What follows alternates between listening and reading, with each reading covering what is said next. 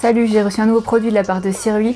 Il s'agit de cette petite minette LED du Ken euh, dont je vais vous faire le déballage qui va me permettre en fait de pouvoir upgrader mes, mes tournages un peu plus fiction, clip parce qu'en fait elle a plein de modes d'effets spéciaux à l'intérieur et pas uniquement un changement de température.